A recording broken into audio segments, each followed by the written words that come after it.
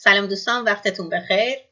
بریم سراغ بخش دوم و سوال 29 امیدوارم که بخش اول رو تا حالا متوجه شده باشین. اگه هم متوجه نشدین حتما تکرار کنید انقدر تکرار کنین تا اینکه اون سوال به صورت مفهومی ملکه ذهن شما بشه و متوجهش بشین. at a pelican crossing what must you do when the amber light is flashing? خب منظور اول کلماتش میگیم. at یعنی در pelican crossing یعنی مسیر عبور که به شکل پلیکانه. یکی از مسیرهای عبور what چه must یعنی باید when یعنی وقتی که amber یعنی زرد light یعنی چراغ flashing یعنی چشمک زدن.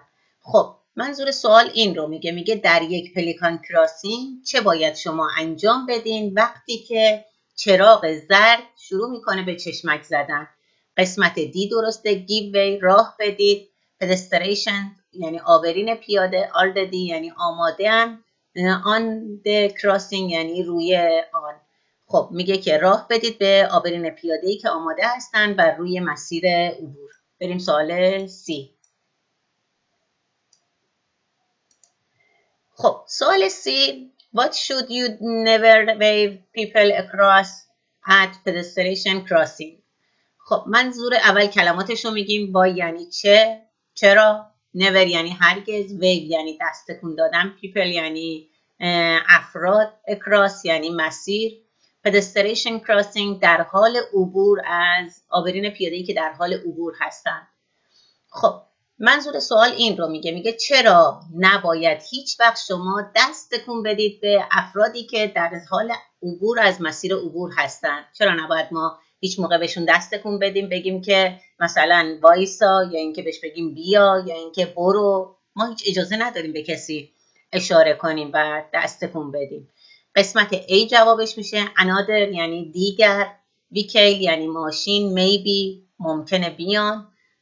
Maybe coming یعنی ممکنه که بیان.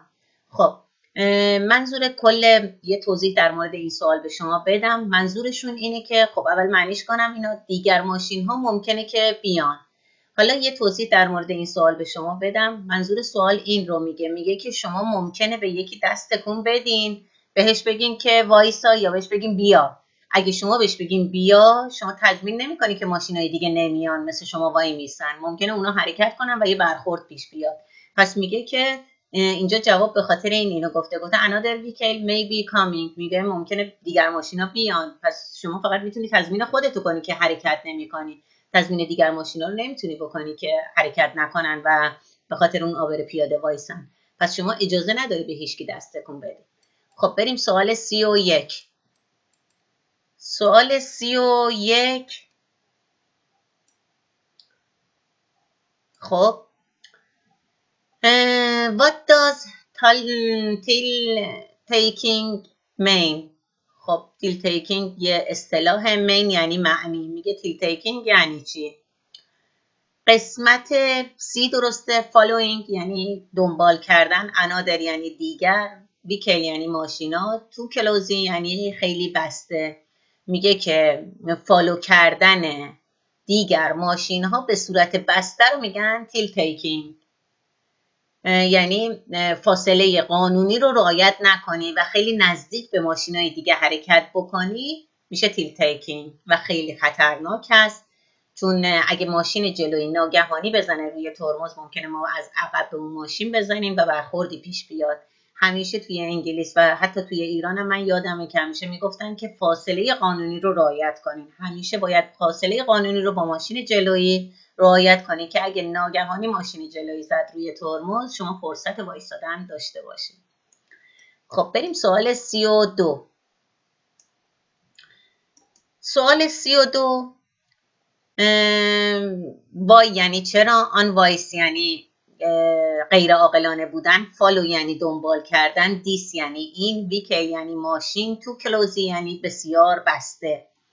خب میگه چرا غیر عاقلانه است که ما follow کنیم؟ این lorry رو این ماشین رو به صورت خیلی بسته. چرا غیر عاقلانه چرا ما نباید خیلی نزدیک به این ماشین حرکت بکنیم؟ جوابا رو می‌بینیم؟ خب جواب ما میشه قسمت D your view ahead will be reduced. یعنی که دید شما از آنچه که در جلو اتفاق میفته کاهش پیدا می‌کنه. خب ما این, دو این سوال رو دو بار توی کتاب خواهیم دید.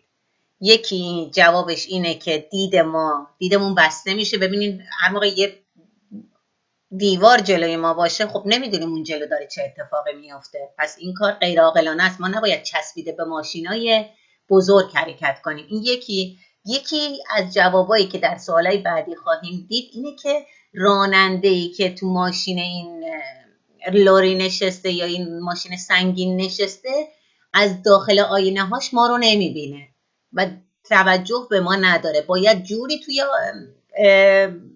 فاصله رو باهاش رعایت کنیم که اون از آینه های بغلش بتونه ما رو ببینه. موفق باشین تا 6 8 یا 4 سال بعدی.